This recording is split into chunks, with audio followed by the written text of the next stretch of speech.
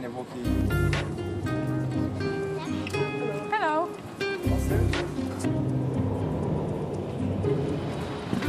Berlin-Lichtenberg, 21.15 Uhr, Dienstbeginn für Vera Schmid. Die meisten Fahrgäste steigen erst gleich zu.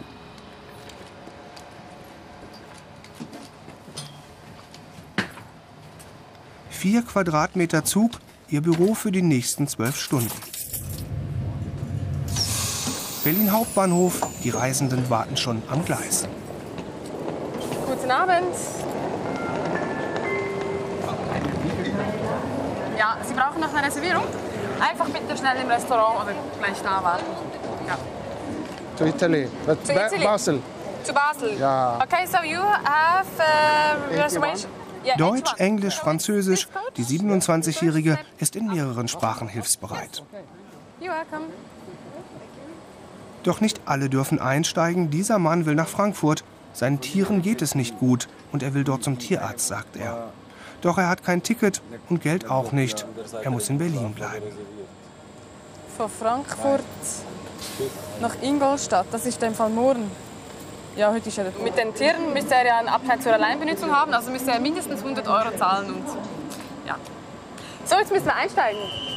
Kurioses im Nachtzug. Vera Schmid ist auch schon mal ein Fahrgast in Köln abhanden gekommen.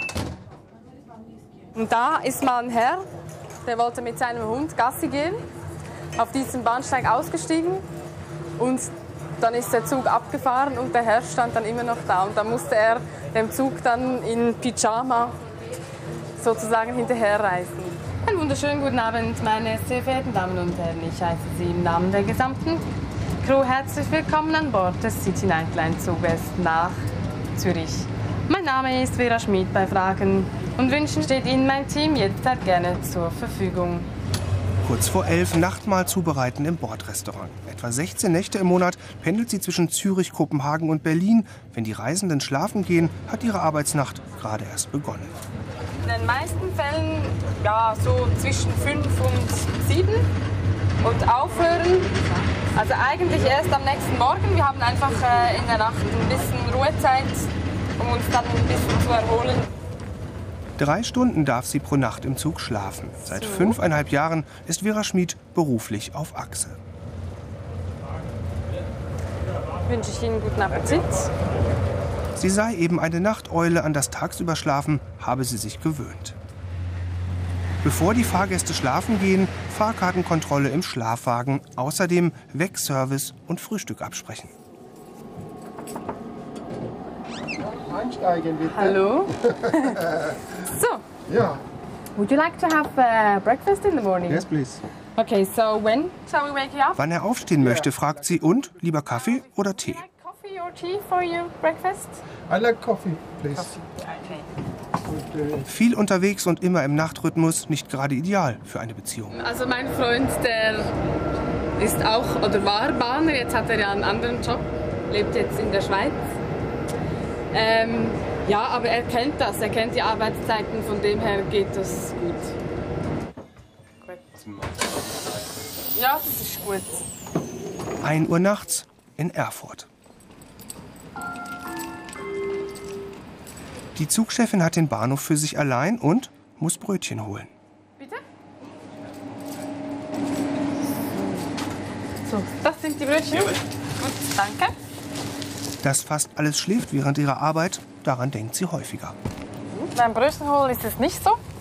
Ist eigentlich eher, wenn ich dann meine Kontrollgänge nachts mache. Und dann fährt man eben durch die Nacht und man weiß, all die Gäste schlafen da. Ist irgendwie schon ein merkwürdiges Gefühl. Ruhe im Schlafwagen. Die Zugchefin muss jetzt das Frühstück vorbereiten. Noch drei Stunden bis Frankfurt. Dort steigen bereits die ersten Reisenden aus.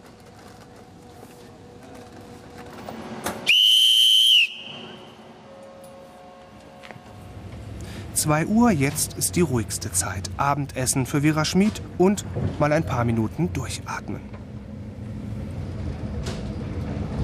Ja, doch, das ist angenehm. Jetzt hat man alles eingecheckt, die Gäste schlafen. Die Arbeit ist erstmal getan. Frankfurt und der Main um kurz vor vier. Ankunft in Frankfurt Süd. Mitnehmen Frühstück für die Frühaufsteher.